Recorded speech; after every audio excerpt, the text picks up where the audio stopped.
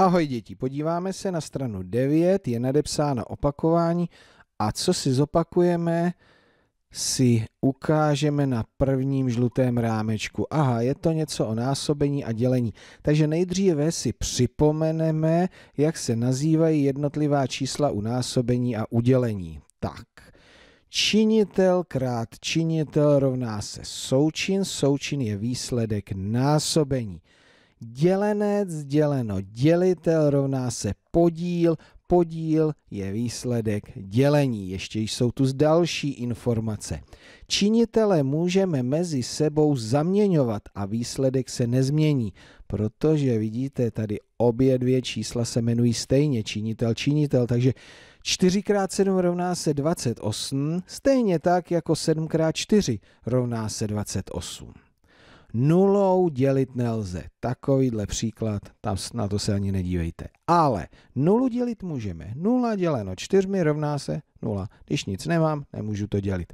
A zůstane mě nula. Tak, jdeme se podívat na první cvičení, přečteme si zadání, vypočítejte jednoduché příklady. Takže počítejte 7x8, už jste řekli, že je to 56, Vyměnili jsme činitele, takže to ani nemusíme počítat. 8x7 rovná se, ano, 56. Jdeme dál. 14 děleno dvěmi, 7. 63 děleno 7, 9. 9 x 9. 81. 10 x 9. 90 a něco z dělení. 5 děleno 5, 1, 42 děleno 6,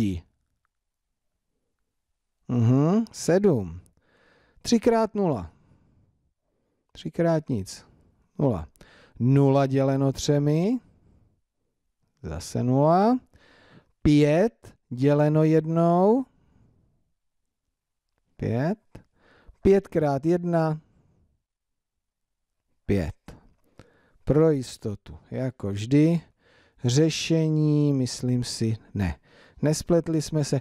Takže co? Připomněli jsme si násobení a dělení. No a aby nám to pěkně šlo, možná, že by bylo dobré si zopakovat opravdu pořádně všechny násobilky, jak násobení, tak dělení, abyste neměli problémy s žádným příkladem na násobení a na dělení.